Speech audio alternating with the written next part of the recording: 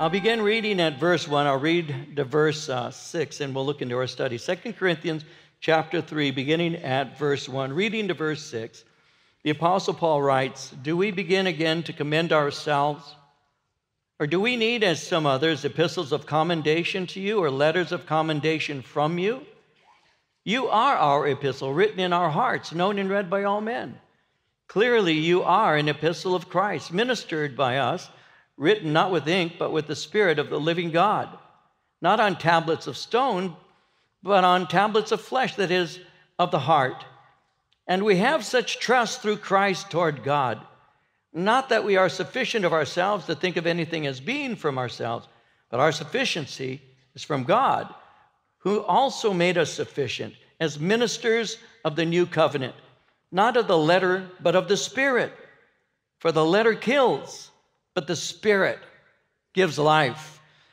And so, as I've been mentioning to you here in the book of Second Corinthians, the Apostle Paul is basically answering accusations that have been lodged against him. And uh, there are a variety of, uh, of accusations that we've been looking at. We'll be looking at a couple more as we go through this chapter. But Paul is defending himself against accusations, and he's been defending himself against a charge that he uses the gospel for personal gain, that he's profiting from the preaching of the message. We saw that in chapter 2, verse 17, the last verse of chapter 2. You might want to look at it because there Paul said this He said, For we are not, as so many, peddling the word of God, but as of sincerity, but as from God, we speak in the sight of God in Christ. And so, again, to know the context of this letter, false teachers said that Paul was giving a false gospel. They said that he was peddling it. The word peddling speaks of a hustler. There's a word we used to use in the old days. I don't know that they use it anymore. You go into a place to play some pool, and there's some guy there pretending that he doesn't know how to play. And then he says, Well, you know, I want to play uh, $10, $10 a game. And he hustles you. He's a, he's a professional. He knows what he's doing, but he pretends as if he doesn't. And so we used to use the term, he hustled you. So they're hustlers. So he's speaking concerning that, and he's saying that, that um, the word peddling doesn't apply to him. Uh, it speaks of, of Paul changing the message in order that he might profit personally. So Paul is speaking here, and Paul is making it clear that there are many infiltrators who have crept in, they're influencing the church. And because he loves these people, he clearly identifies them throughout the epistle. In chapter 11, you'll see this at verse 13 when he describes them this way. He says, For such are false apostles, deceitful workers, transforming themselves into apostles of Christ. So he identifies them and he makes it clear he's not one of them. But he also makes it clear that they're numerous because he spoke of so many who are peddling. So many teachers of his day would mix their teachings with current beliefs in order to appeal to people. But Paul is making it very clear that his teachings were inspired by the Holy Spirit, and they're not enticing words that are used to entrap the hearer. You see, the peddlers, the false apostles, were transforming the gospel. They were adding things to it to tickle the ears of the hearer, to draw them away after themselves. And Paul said, We're not as that. And there's so many of them, he said, who have crept in, so many infiltrators, but we are not one of those. We are the people who have been preaching the gospel, he said, with sincerity. In verse 17 of chapter 2 again, he said, as of sincerity, as from God, we speak in the sight of God in Christ. So he speaks of sincerity. As with sincerity, the word sincerity speaks of that which is uh, uh, without mixture of error. Error. Uh, sincerity is a virtue of one who communicates and acts in accordance with their feelings, beliefs, thoughts, and desires. So he's saying, I communicated only God's pure word without mixing it with error, and did so knowing that God's eye is upon me, noting his every word. With this, he's saying, with this in mind, he only gave the words that were given, approved of, and blessed by Jesus. So we speak with sincerity, without mixture, without error. The word sincerity is a, a, a combined word. Sincerity, it comes from the Latin, and uh, the way you would pronounce it, I'm assuming in Latin, it would be sincera. Sincera, without wax. That's what that means, sincera, without wax. Now, why would he say we, we preach without wax? Because if I was going to a pottery shop and I was wanting to buy a piece of pottery, a vase of some sort, and I would look at it it would appear to be beautiful and, and without a flaw. But if I lifted it and turned over the, the vase and looked at its base, I would be looking for something that would identify to me its quality.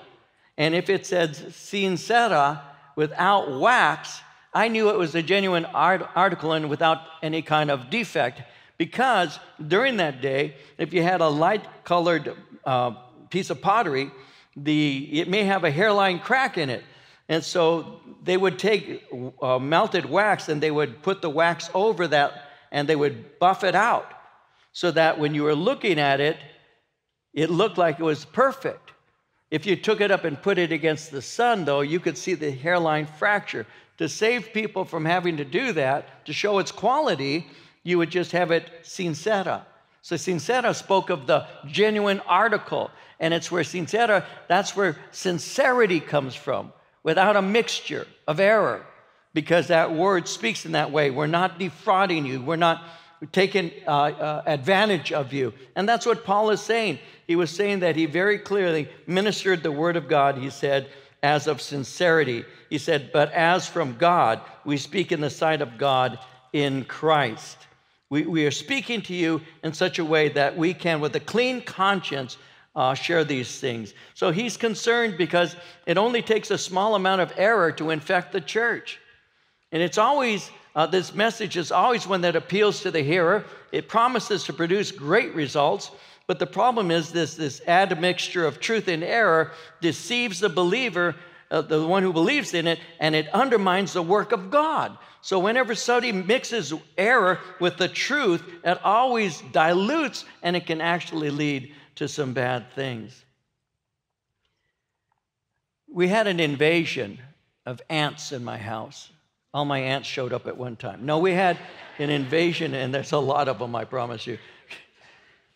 When my, gra- when my grandmother went home to be with the Lord in 1992, I was looking at the information on our family, how many children she had. She had 12 children, how many grandchildren she had. And when I saw the amount of great grandchildren and great great grandchildren. Now, this is 28 years ago.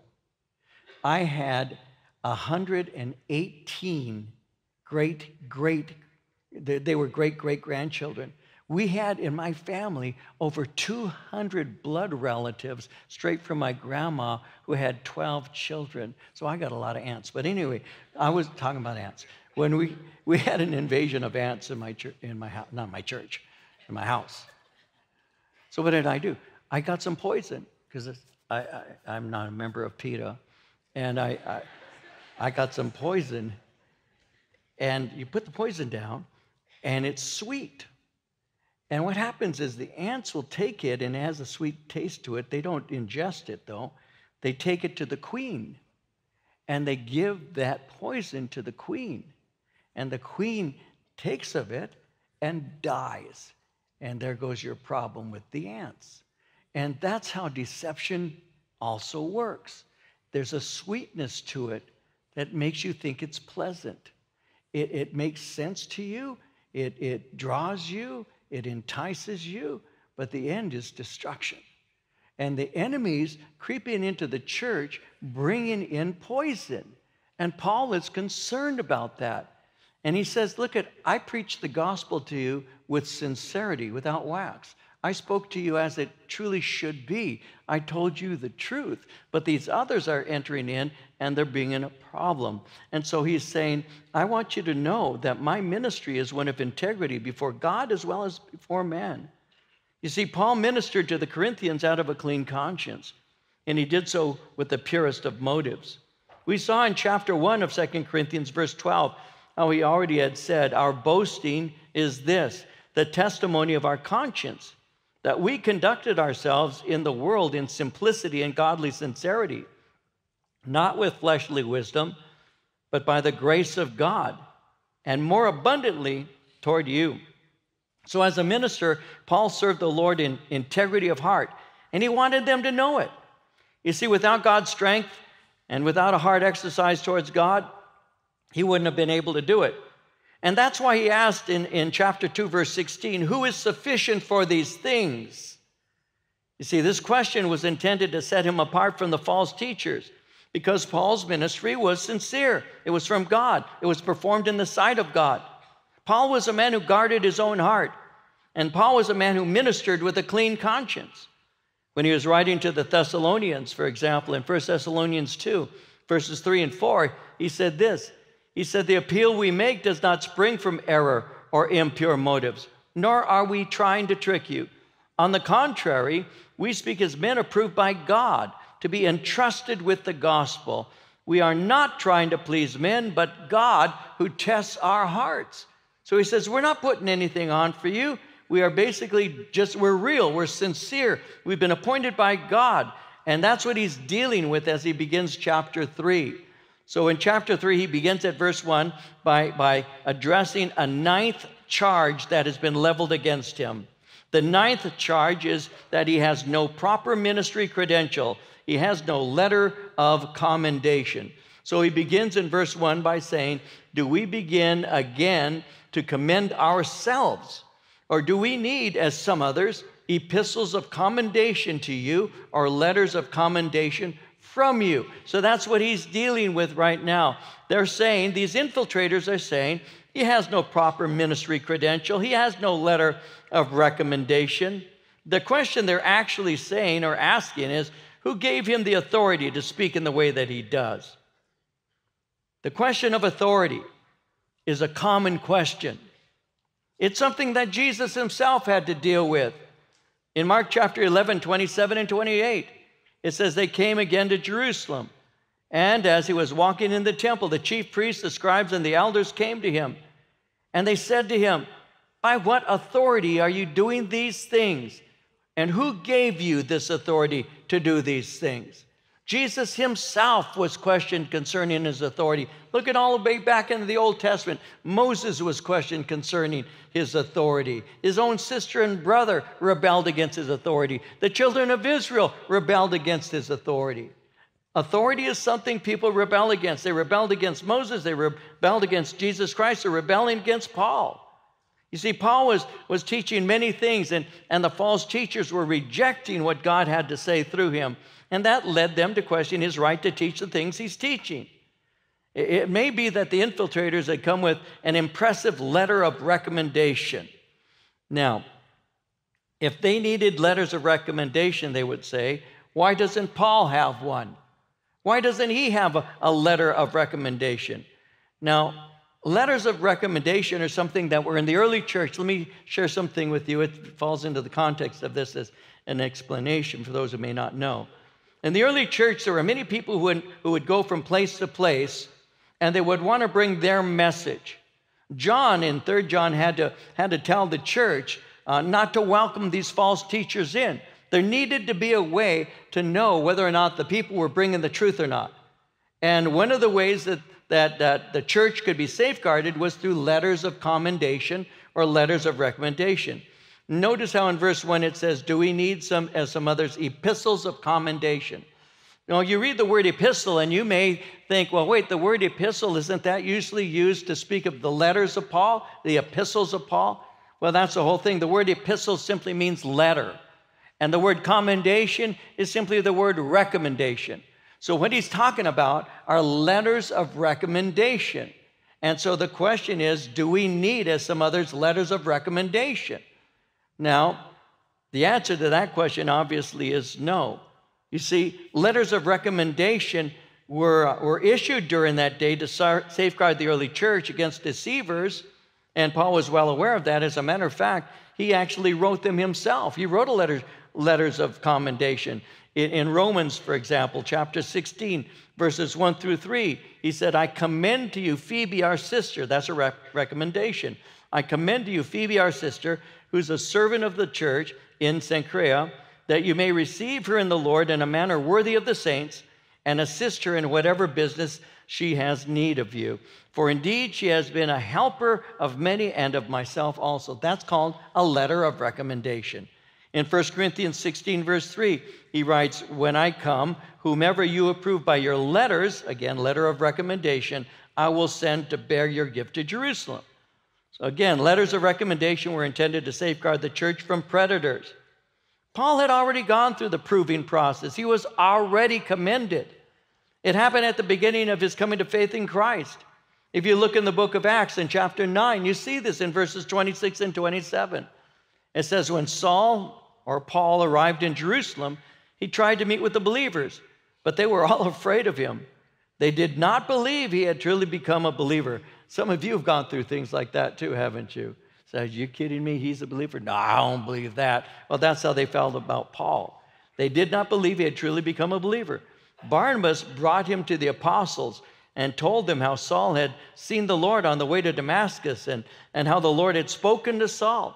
He also told them that Saul had preached boldly in the name of Jesus in Damascus. That was a commendation. So Paul made it clear that he was a commended individual. In Galatians chapter 2, in verse 9, it reads In fact, James, Peter, and John, who were known as pillars of the church, recognized the gift God had given me. They accepted Barnabas and me as their co workers. They encouraged us to keep preaching to the Gentiles while they continued their work with the Jews. The pillars of the church have commended me, is what he's saying. He's already received his commendation. But they're asking, why doesn't Paul carry a letter of recommendation? And now he gives the answer, verse 2 and 3. You are our epistle written in our hearts, known and read by all men. Clearly, you are an epistle of Christ, ministered by us, written not with ink, but with the Spirit of the living God, not on tablets of stone, but on tablets of flesh, that is, of the heart. Here's his answer You are our epistle, written in our hearts, read by all men. You are our letters of commendation, and they're written in our hearts. My accusers are asking for proof of my calling and my ministry. The fact that you've been saved and that a church exists should be proof enough. Your changed lives reveals the power of God's word, and your changed lives establishes our credibility. He says in verse 3 clearly, you are an epistle of Christ, ministered by us and written not with ink. You are clearly believers in Jesus. Now, that's something he said in his first letter. In 1 Corinthians 1 5 through 8, this is what he said to the church. He said, You were enriched in everything by him, in all utterance and all knowledge, even as the testimony of Christ was confirmed in you, so that you come short in no gift, eagerly waiting for the revelation of our Lord Jesus Christ, who will also confirm you to the end, that you may be blameless in the day of our Lord Jesus Christ. Your changed lives, your changed lives should be clear evidence of your true faith. And this genuine faith occurred through my ministry to you. That should be evidence of my being a genuine minister of the gospel. The fact that as I have taught you and you have embraced the teaching, your lives have changed. That should be all the evidence that we need because that would prove that I'm a genuine minister. Notice how he says in verse 3 the Spirit has engraved God's message of grace on tablets of your heart. The Ten Commandments, when you look in the Old Testament, were, were written on stone, but grace is engraved on the heart. In Ezekiel, in the Old Testament, Ezekiel 36, verses 26 and 27, God said this I will give you a new heart and put a new spirit in you. I will remove from you your heart of stone and give you a heart of flesh. I will put my spirit in you and move you to follow my decrees and be careful to keep my laws. I will write on the tablet of your heart. The law is on stone, but God's grace is on my heart. There are a lot of laws that we are familiar with. You know, You come up to this place that has STOP on it, you're supposed to stop. I'll let that sink for a minute. Then the yellow light when you're driving, that isn't some kind of contest to see how many people can get through before it turns red. Those things are laws that are written, if you will, on stone. They're outside of you, they're not internalized within you. Because sometimes people think that they're suggestions, and those are the small things. It says 55, it says 65. That's a suggestion. You know, I don't see a black and white. You know, it's just me. It's four o'clock in the morning. Nobody notices, you know, and that's how we think. I remember when I was a kid, we went to the movies. It was, I was 12 years old, 13 years old, and two friends and I went to the movies. My parents let us go out to see a movie. Shouldn't have. It was Psycho, a movie called Psycho. So we went and saw Psycho at a theater in Downey, and we were on our way home walking down Firestone Boulevard. And there was no traffic because we, we went to a late, a late show. It was like 11 o'clock at night. And then at that time, the, the traffic was already, there was, there was no traffic at 11 o'clock, you know. And so we decided we were going to be cars. And we were running in the lanes, in traffic lanes, and we'd pass each other up. And we were stupid kids playing, and a cop pulls over. And he pulled me over, he sighted me, he put his red light, and I had to pull over to the curb. But anyway, and he gets, I'll never forget this. He gets out of the squad car. He says, What are you guys doing? I said, Nothing. We're just playing. And he says, You're playing in the street. And I spoke up. I said, There's no cars. There's no cars. It's like I was talking to my mom. There's no cars. And I'll never forget this cop looking at me. What's cars got to do with the law? And he lectured me. And I thought, man, are you kidding me? What's wrong with you? He was right. Law has nothing to do with anybody who's watching you or not. The law doesn't. But guess what? The law's on the outside of you. What keeps you from breaking the law? It's what's inside of you. See, there's no law that can be passed. I don't care how many laws you pass that says you're supposed to love and not discriminate, this and that. You can put it down on a tablet of stone, but unless the Holy Spirit writes it on my heart, I'll discriminate and I'll do everything else I want to do. I may not do it in front of other people. I might not even say it, but my heart is still rotten because my heart hasn't been changed. A law doesn't change your heart. And that's why God said, I'm going to take my law and write it on the tablets of your flesh. I'm going to change you from the inside because those commandments that God gave, the Ten Commandments, you break every one of them because that's your nature to do. So, what I'm going to do is I'm going to put in you my law. I will write it on the tablet of your heart. And it boils down to do basic things love God with all of your heart and love your neighbor as yourself. And if you do that, you'll keep all the laws and the commandment. Why? Because the greatest law is the law of love. And he, that comes through the grace of God. It doesn't come through tablets of stone. It comes through God's mighty finger writing on your heart saying, Love your neighbor, love him for Jesus' sake. And that's how it works. And that's what Paul is saying. Paul is simply saying that to us. It's something to know and to understand. He's saying, You exist as a church because God led me to teach you about Jesus Christ. And these false teachers that are entering in, questioning my authority, all they need to do is look at you and see that in Corinth the church exists and people who love God are present in that church. That's how it's demonstrated.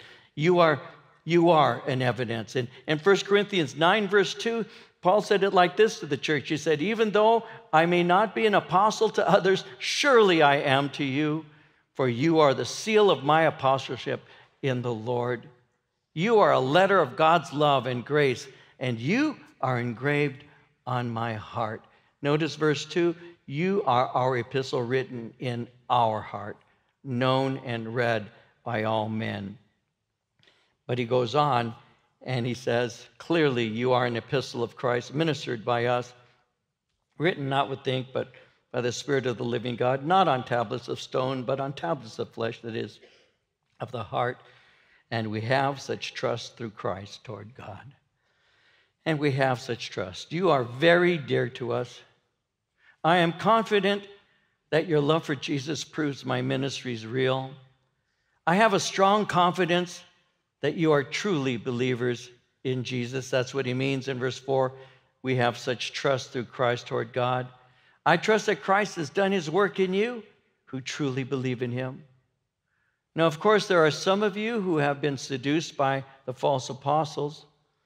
And this is something you need to examine your own hearts about, whether or not you have been. You see, later on in 2 Corinthians in chapter 13, verse 5, he says this Examine yourselves to see whether you are in the flesh. Test yourselves. Do you not realize that Christ Jesus is in you? Unless, of course, you fail the test. Have you been influenced by the false teachers? Has your heart been taken to a false message? Test your own hearts. Clearly, he says, You are an epistle. And then in verse 4, and we have such trust through Christ toward God. God has done this work.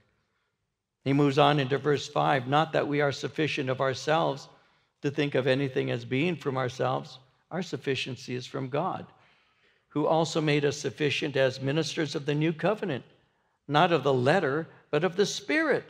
For the letter kills, but the Spirit gives life. And so in verse 5, not that we are sufficient of ourselves to think anything as being of ourselves. That brings us to the 10th accusation. The 10th accusation they've made against him is that Paul is self righteous and Paul is self sufficient, that he labors in the energy of his flesh. Now, Paul knew that he was not adequate in and of himself. He did not forget what he was before he came to faith in Jesus Christ. Have you? Have you forgotten what you were before Jesus came into your life? Have you forgotten? You know what? If you remember where you came in, it saves you from becoming proud and arrogant. So sometimes people forget what they were before Jesus saved them. Sometimes because we've been walking maybe with, with the Lord for maybe a few years, five years, 10 years, 15 years. And we look at our old life and we look at the past and the things that we did and the things we took pleasure in. And, and then we see somebody who's entrapped by those same things we at one time were entrapped by. And we think to ourselves, I don't know how they could be like that. Why don't you just, and we, we forget that's what we were until Christ's grace broke through. I've never forgotten where I came from. I don't want to ever go back to it, but I haven't forgotten. I haven't forgotten what I was. Listen, every one of us has what is called a testimony, and we bear witness of what God has done. You have your real testimony, and you have the one that is open to others. The one that's open to others is usually crafted. If you've said it more than once, you know how to, to, to fill it in, you know how to say certain things. If people respond, especially if you're a, a, an open speaker, a public speaker, you, you, learn that some things will cause people to really cheer. You know, I've given my testimony in other places and, and I'll say certain things, and then certain places somebody may respond, and I realize that must have impacted them. And I'll remember that if I give it again someplace else. That's what your flesh does. You remember these things. You have a testimony. And the testimony you have over the years sometimes eliminates some of the things that you did, or perhaps you don't remember anymore. And then you have your real testimony, and that is the one that you and God know. That's the one that you don't tell anybody. You don't tell anybody what you really did. You don't tell anybody what you've really thought. You don't tell anybody what your life really was about. Why? Because that's private and embarrassing. It's humiliating. And you don't want people to know these things. There are things about me that I tell nobody. Marie knows nothing about and never will. It's between me and God. Not that I'm ashamed of it to tell my wife. I'll tell my wife anything she needs to know. But there are some things in my life that is just God and me. And that's what causes humility in my heart because I know what I was. I know what He did. I know the depth of His forgiveness. And that's what's created in me a heart of humility for God's sake because God, I know what I was. Thank you for what you've done to change me. And that's, that's your testimony. That's the real deal. That's who you really are. Because you know there are things, if you said you did this or thought this or wanted to, and you told somebody else, they would think, man, you're some kind of monster. What's wrong with you? You're a sicko. And the answer is, yeah, you probably are. All of us are to some degree. Who's better than the next person, right? Paul never forgot. Please never forget Never forget. Did you need God's grace? Yes, you did. Would you be saved without God's grace? No, you wouldn't. Has God been good to you? Yes, He has. Did He forgive all of your sins? Indeed, He did. Why do you know that? Because He said, If I confess my sin, He is faithful and just to forgive me my sin and to cleanse me from all unrighteousness. Is my God a truth telling God? Absolutely. Am I forgiven? Yes. By what? By His grace. How do I know that? Through faith. That's called Christianity. And Paul never forgot where he came from. My sufficiency is from God. He knew that. My sufficiency is from God. When he gave his testimony to, the, uh, to Timothy in 1 Timothy chapter 1, verses 12 through 15, he said, I thank Christ Jesus our Lord who has enabled me because he counted me faithful, putting me into the ministry. Although I was formerly a blasphemer, a persecutor, an insolent man. I obtained mercy because I did it ignorantly in unbelief. And the grace of our Lord was exceedingly abundant with faith and love which are in Christ Jesus. This is a faithful saying, worthy of all acceptance, that Christ Jesus came into the world to save sinners, of whom I am chief. Apostle Paul. I've met people say, I'm the worst of sinners. Paul would differ with you. He'd say, No. Paul would say, I am chief of sinners. And God used Paul as an example of how far God's grace will go. Never forget that. You see, every believer in Jesus has a personal responsibility to grow and to mature. We know that we've been made adequate to serve God by God Himself, but I have a responsibility to pray to read my Bible, to, to attend fellowship, to, to fellowship with other believers, to, to serve, to give. I have these. These are, these are responsibilities. These are called basic disciplines, and they serve to strengthen and, and develop us as believers. But in the end, it's God who strengthens, it's God who gifts, it's God who encourages us in our service to Him. And Paul makes it clear. He says, Our sufficiency is from God. He's saying, My abilities are not natural ones. They're imparted to me by Jesus. The work of converting people and equipping them, well, that doesn't originate with Paul. You see, whatever qualifications I have, whatever success I enjoy, Paul is saying, are all from God. In John 15, verse 5, Jesus said it like this He said, I am the vine and you are the branches. He who abides in me and I in him bears much fruit. For without me, you can do nothing. In Zechariah chapter 4, verse 6, this is the word of the Lord to Zerubbabel Not by might, nor by power, but by my spirit, saith the Lord of hosts. You see, that all comes from God. God converts, God equips, God directs, and God provides the resources. Ye shall receive power. After that, the Holy Spirit has come upon you. You shall be witnesses to me in Jerusalem, in Judea, Samaria, unto the uttermost parts of the earth. God supplies the power. In Isaiah 40, 29, he gives power to the weak, and to those who have no might, he increases strength. It comes from him. So, as a minister, Paul knew that he had a high calling. He wasn't driven by a desire for fame, he wasn't driven for a desire to advance in influential circles or, or to grow rich. His was a life marked by repentance and a pursuit of greater personal purity. The task was beyond his ability to succeed. He acknowledged it. He made it clear that it takes God to make him adequate to serve faithfully. You see, each one of us, each believer must grow, must mature, but the resources are completely available to us. Isaiah 41:10 says, "Fear not, for I'm with you. Be not dismayed, for I am your God. I will strengthen you. Yes, I will help you. I will uphold you with my righteous right hand. He went on to say in Isaiah 41 13, For I, the Lord your God, will hold your right hand, saying to you, Fear not, I will help you. Take that to the bank. God will be with you. Do not be afraid. Do not be dismayed. You have a story, it's a book. And each one of your days of your life make up a portion of the chapters. And you have chapters of joys and chapters of sorrow in your book of life that you have. Adventures that you've had that you succeeded in, and failures. You have bright lights and dark nights. And one of the things that I've told people over the years that I've grown to understand is this my book has not ended yet. It contains all these chapters of all these various things, but my book has not been concluded yet. Because at the very end of the book, I'm going to look at the last page and it's going to say, and he lived happily forever after.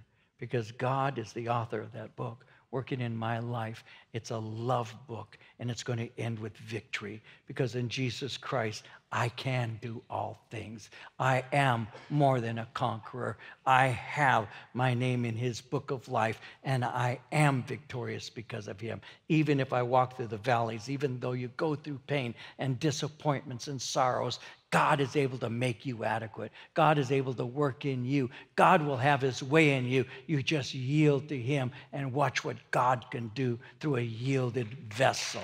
Don't forget that. And Paul said it My sufficiency is of God. My abilities are not natural ones, they have been given to me.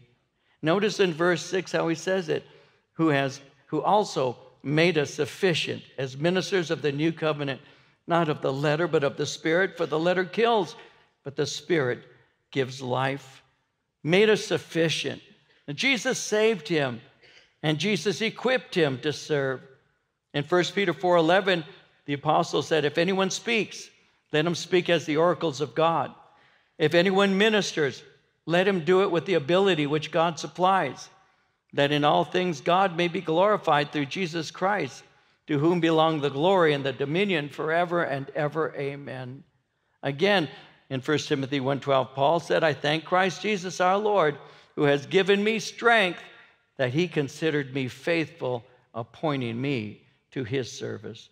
You see, verse 6 says, We're ministers of the new covenant, not of the letter, but of the Spirit. So he contrasts what has been called the uh, Old Covenant with the New. The Old Testament, the Old Covenant, was lifeless. It was a written code, it required perfect obedience. In Exodus 24 7, it says he took the book of the covenant, read it to the people, and they responded, We'll do everything the Lord has said. We will obey. But they didn't. In Deuteronomy 27 26, cursed is the man who does not uphold the words of this law by carrying them out. You see, it's through the law of Moses that people became aware of their own sinfulness. God's law identified sin, made people realize that what they were doing was wrong. Paul speaks of that in Romans 7 when he says in verses 7 through 10, What shall we say then? Is the law sin? Certainly not. On the contrary, I would not have known sin except through the law, for I would not have known covetousness unless the law had said, You shall not covet. But sin, taken opportunity by the commandment, produced in me all manner of evil desire. For apart from the law, sin was dead. I was alive once without the law. But when the commandment came, sin revived. I died. And the commandment, which was to bring life, I found to bring death. The things that I was feeling with, I was feeling, you know, like covetousness is what Paul says. I didn't even realize that, that I coveted until I read the law and it defined what I was experiencing. So the law awakens you, it opens your eyes to what you are. It says, Thou shalt not. And then you realize those are the things you want to do. And so the law reveals sinfulness, it awakens us to a need for help. It was used by God to reveal the need for a Savior. In Galatians 3 23 through 26, Paul said it like this He said, Before this faith came, we were held prisoners by the law, locked up until faith should be revealed. So the law was put in charge to lead us to Christ that we might be justified by faith. Now that faith has come, we're no longer under the supervision of the law. You are all sons of God through faith in Christ Jesus. So Jesus Christ was our, our tutor, our headmaster. He brought us, the law brought us to Jesus Christ, rather. The, the law was our, our tutor, it brought us to Christ. It didn't teach us, it awakened us. Jesus taught us through his grace what it means to be free. So the law says, Thou shalt not but it's written on stone. But when Jesus Christ comes into your life, that law is now written in your heart. And the things that you do now are not because you're going to get caught. It's because God has restricted you, He's restrained you, He's instructed you, and He's empowered you, and He's given to you the ability to see that this is something wrong. You, when you've got a little kid, those of you who are parents or those of you who take care of small children, you know this. When you've got a small child, two years old, three years old, um, they, they will obey you, not necessarily from the heart. You know, how many three year olds have you ever seen at a, at a church service coming forward and just kneeling, crying, Oh God, I'm a miserable sinner? You just don't really see that because they don't realize that they are. They're just doing things that are expedient. I mean, if you've got a four year old and he's picking on a three year old, and you talk to the four year old and you say, Why are you doing that? They'll look at you and say, Duh, because they're smaller than me. It just makes sense to pick on a small person. I wouldn't pick up pick, on a six year old. I'm only four. So I'll beat up three year olds. And they see the reasonableness of that. Why did you steal that? Steal? I don't even know what that word means. I wanted, I took, it was sitting there. What's wrong with that? That's how they think. But you say, but that's belonged to somebody else. The concept of belonging to somebody else and violating that kind of social uh, contract is not in their mind. I saw it, I wanted it, I took it, get off my back. That's kind of a three year old. So try and reason with one, those of you who have them, three year old, four year old, you'll see what I mean. So what do you do? You say, I'm going to have to put you in a timeout. Oh, yeah, that's real effective. I'm going to put you in the timeout or whatever you do, and you need to think about it. They already think it was okay, so I don't have a problem sitting here in the corner thinking about how else I'm going to go. I'll get away with it next time because this is what, and that's what they do. They sit in the corner figuring out how, how to do it and get away with it. But when you're older, when you're 9, 10, 11, when you're 12 and 13, you start developing what is called a moral conscience. You begin to know there's something right, there's something wrong. But it doesn't form at three and four. It's still, we're just still basically growing. We're just learning. And so ultimately, what you have are stages of, of moral growth. And there have been studies on this. I'm not going to take you through, but there are seven stages that one guy uh, came up with. And, and basically, you know, there's a uh, reward and punishment. You know, that's basically the beginning. But ultimately, they, they call it altruism, where they do things because it's the right thing to do, regardless of the cost for me. They say that is a highly morally developed individual, the one who does right for its own sake, even if it costs me for doing it. And this one author said, and that is what the Christians, and he wasn't a Christian, but that is what the Christians call agape love to do the right thing, even when it isn't the easy thing, because that's the best thing, right? And so it's easy for someone to, oh, I'll, there's a cop behind me. It says 45, I'm going 44. You know, there's a cop behind me. It says stop, I'll stop. One, two, three, then I'll go. You know, 10 o'clock, 2 o'clock, all of those things we learned, right? And the cop's not there. because we haven't developed the internal the internal watch. And that's, again, what Paul was speaking about earlier, and that's what he's reiterating here, reminding us the letter kills, but the Spirit brings life. The letter says, Thou shalt not on the pain of penalty, whereas grace says, No, I will do it because I'm alive through Jesus Christ, and I do it for, because of his grace. You see, the letter kills, but the Spirit gives life. In Romans 7:24, Paul said, "Wretched man that I am, who will deliver me from this body of death?" But in John 6:63, Jesus said, "The spirit gives life, the flesh counts for nothing. The words I've spoken to you are spirit, and they are life." So the riches of the grace of God are revealed to us in Christ, and that's intended to cause us to have joy. You see, his law is written on the tablets of our flesh, of our heart, and we obey him from the heart. Again, Hebrews 8:10 says, "This is the covenant that I will make with the house of Israel after those days, saith the Lord. I will put my laws in their mind, write them on their hearts. I will be their God. They shall be my people." You see, verse 6 says, The letter kills, but the Spirit gives life. The law awakened people to sin, but it also served to condemn them to judgment. But the Spirit of God gives life to the spiritually dead person through grace and by faith. And that is why we need to be born again. Because the will is present, The ability to perform that which I desire is not. And that's why you fall on your face before God and you say, God, be merciful to, to me. I'm a sinner in need of your help. Forgive me, cleanse me. Lord, may I have a new life. Write your law on the tablet of my heart that I may do those things that please you. I've hurt too many people. I've broken too many things. I just need you. I still remember one prayer that I used to pray when I was a young young man before I got saved, and it was simple. I still remember the prayer. Just before I got saved, I started praying. I hadn't been praying. I hadn't prayed for years, but I prayed this. I, I still I would say, God help me. There's something wrong with me. That's what I would say. That was my prayer. God help me. There's something wrong with me. I don't know what it is, but something's wrong. Help me, help me, help me. And then one day my friends started sharing the gospel, and that's when I realized that's what's wrong with me. I don't know the Lord. I'm rebellious, I'm filled with hate and selfishness. God help me. And that's how I got saved. When I realized that my heart was broken and messed up, but that Jesus said, I've come to heal the brokenhearted. And he healed me. And he can heal you too if you open your heart to him.